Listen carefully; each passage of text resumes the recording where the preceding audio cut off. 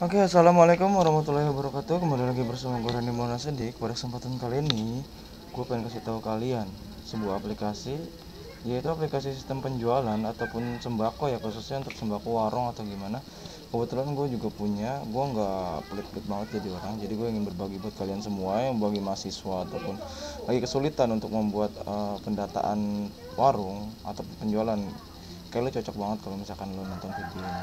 Pertama, ini ini udah gue buka. Di sini agen sembako karena agen sembako ini ya kena warung gitu loh. Di sini adalah nah, posisi dashboard ya. Kalau misalkan lo mau logout logout aja nggak apa-apa. Nah posisi logout di sini nah ini namanya aplikasi pos. Jadi pembayaran sistem pembayaran ya warung ya sembako ya.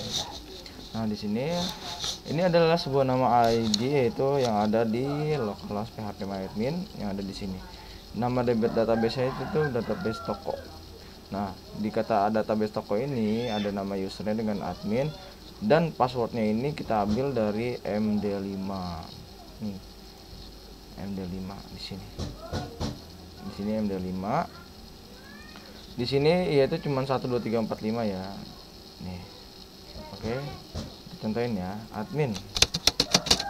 Admin. 1 2 3 4 5 Nah, login sukses. Lalu kita dialihkan ke beranda. Di dalam beranda ini terdapat ada menu dashboard, master di dalam data, data master itu ada data barang, data kategori dan data user. Di dalam transaksi ada transaksi jual dan laporan penjualan. Di dalam data master ini ada kategori barang. Nah, barang ini ada beras, minuman beras, pulpen, sabun, kategori ya. Kategori ini bebas, bebas kalian isi apa aja. Kalau kalian mau insert data, kalian pilih aja nih. ID barang seperti ini kalian masukin kalau misalkan kalian mau sortir sortir aja sesuai data. Nah kosong kan? Nah ya kan? Kalian refresh aja. Nah dia kembali lagi. Nah di dalam data barang ini ada namanya kategori data kategori. Dari data kategori ini ya kategorinya seperti beras minuman snack dan kerupuk. Kategori itu kan di warung kan banyak kan? Kategori itu kategori apa aja. Di dalam kategori juga kalian bisa insert data data ini. Pertama kalian masukin dulu uh, misalkan kategorinya permen ya kan? Permen. Ya udah kalian insert aja. Terus. Nah permen kan? Nah di sini. Kalian mau hapus hapus aja nggak apa-apa. Ya kan? Data hapus berhasil. Nah di sini ada namanya transaksi jual. Nah di transaksi jual ini kodenya kode barang ya. Kode barang ini ada di sini. Kalau misalnya kalian mau lihat barang ya kode barang nih tadi barang BR 002 BR 001 kenapa BR ya ibaratnya singkatan dari barang ya. BR 001 misalkan ya. Misalkan kita transaksi jual BR 001 BR 01 enter. Ada di sini. Dia pensil. Kita ambil kita jual. Nah reset keranjang bisa kita reset. Nah di sini nama barang sabun. Jadi sesuai kode ya. Nah di sini jumlahnya berapa? Misalkan dua. Ini dua ini dua. Ya udah kalian update aja. Update. Update dikali dua. Update dikali dua juga kan? Update lagi. Karena sabun udah ada ya. Nah di sini harga total semuanya yaitu 12.000 ya kan? Nih, kita ini kita ini kita update. Nih ya kan? Kita update lagi. Nah ya kan 2 dikali 3000 ya 6000 6000 dikali 3 ya 18000 nah misalkan kita bayar dengan harga 10000 eh 20000 ya. Hmm.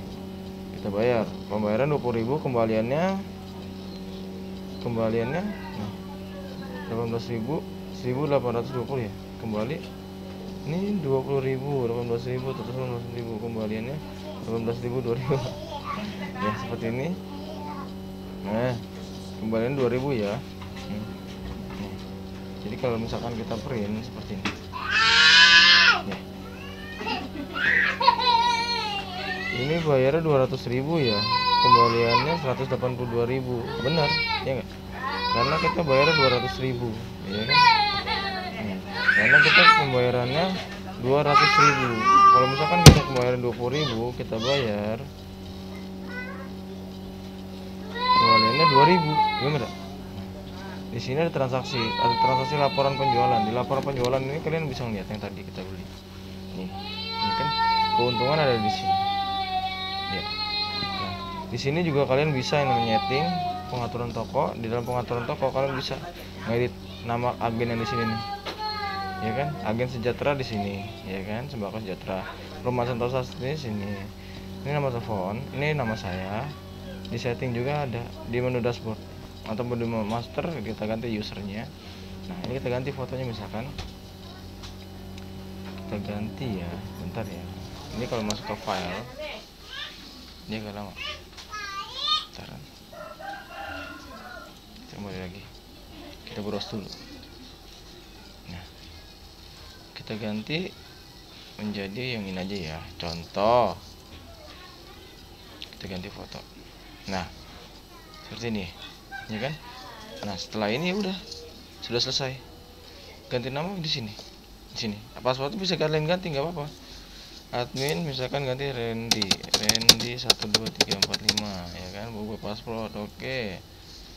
nah. Oke. Okay. edit data berhasil. Oke. Okay. mungkin itu aja dari saya Randy Maulana Sidik wassalamualaikum warahmatullahi wabarakatuh